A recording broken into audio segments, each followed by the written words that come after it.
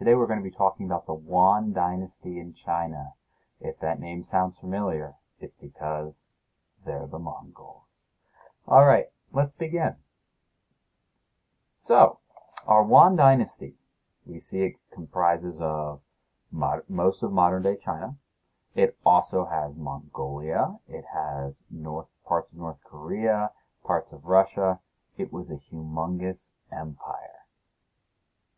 Okay, so we see our Yuan dates 1279 to 1368. Does that 1279 ring a bell? Well, I hope it does, because we know 1279 was the end of the Sung dynasty. We sung about it in our Mongol song.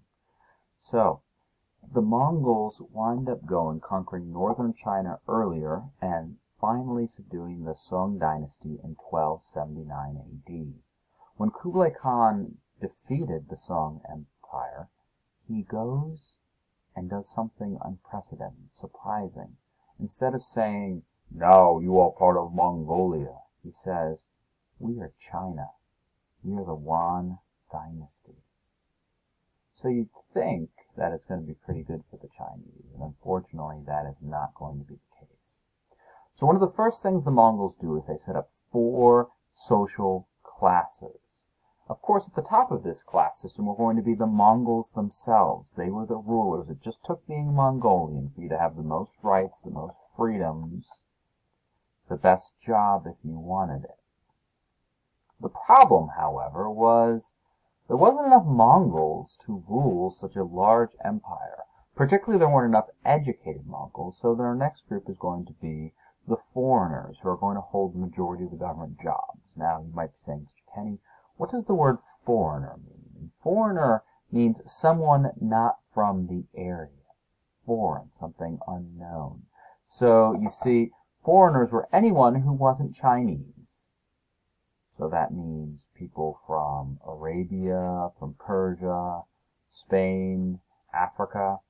Those are going to be some of the predominant places where we're going to see people coming. But even Europeans, such as Marco Polo, are going to have high positions in Mongol society during the Yuan period of China. Finally, we have the northern Chinese. And when I say finally, finally we're getting to the people of China.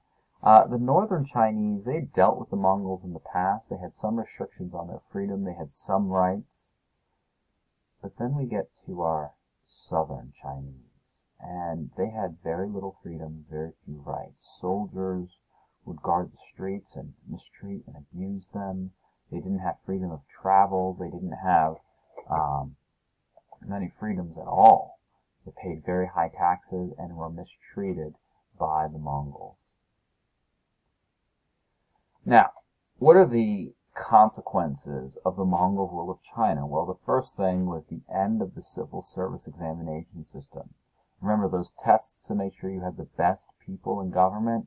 Yeah, those are gone. You don't need the best, you just need to be Mongolian, or at least not Chinese, according to Kublai Khan. So during the Sung period, we talked about how the scholar officials had great power in the society, these educated people making the decisions of China. Well, no longer do they have any power. In fact, the scholar officials get pushed to the side. Many of them don't survive the Mongol conquest. Um, some of them go and try to lead rebellions. As I said, there weren't enough Mongols for the government jobs. They were illiterate, they were uneducated, unskilled. So therefore, we have foreigners coming. The most common places that foreigners are going to come from to serve in the Mongol court would be India, Persia, Arabia, West Africa. Now, they eventually realized in the later Yuan that it wasn't enough to have someone working for your government just because they weren't Chinese. Uh, you're not getting the best workers that with that kind of criteria. So therefore, they do bring back the civil service examinations. However, uh, it was unfair.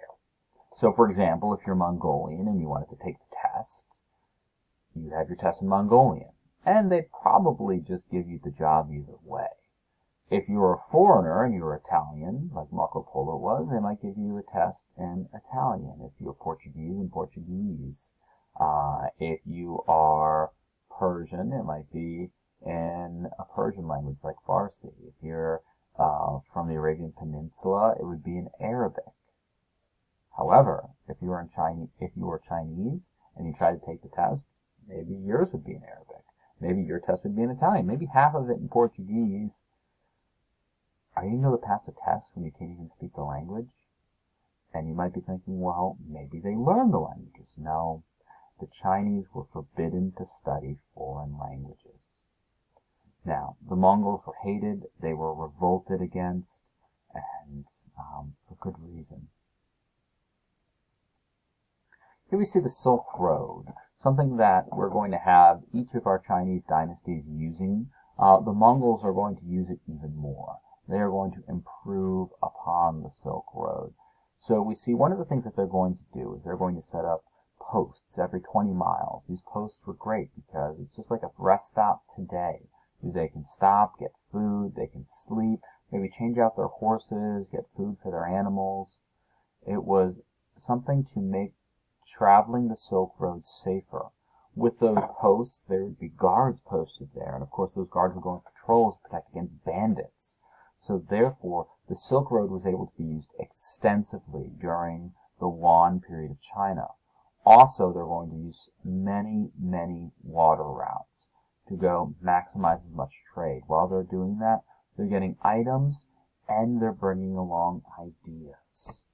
So we're going to have Chinese ideas like gunpowder and printing being traded for Persian knowledge of astronomy, mathematics. Remember, we had our Arabian Golden Age going before this. And during that time, many discoveries, inventions are going to be figured out in the Arabic world.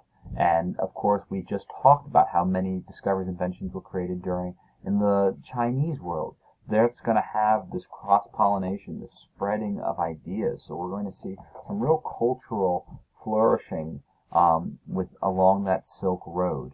Um, for example, Beijing is going to wind up actually being built by foreign architects, primarily Persian, but some Arabic. We're going to see just a great time of culture and technological improvements during this. But it all came at a cost.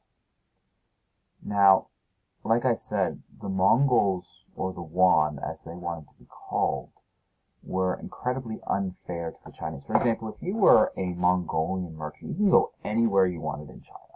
You could trade anything you wanted, with the exception of silkworms um, and the knowledge of how to make silk, the sericulture. That was still a guided secret. That actually, if you tried to trade that, um, it was typically the death penalty. Marco Polo's uncle almost got stuck with that. But, as I was saying, you could go anywhere, trade anything, with exception of silkworms, and you didn't have to pay taxes. However, if you were Chinese, you could not go anywhere. You could go certain places at certain times. You could only trade certain goods, and in the end, you paid many taxes. As we had mentioned earlier, the government, although ruling China didn't speak Chinese. Chinese were forbidden to learn foreign languages. The primary languages used in the Chinese government at this time were going to be Mongolian and Arabic. So the Chinese are going to dislike this and they are going to rebel, rebel, rebel, even it going as far as assassinating uh, Mongolian officials. This is going to lead to the rise of the Ming Dynasty, which we're going to get into in a few days. I hope you have a wonderful day. Thank you so much for your time and attention. Bye bye.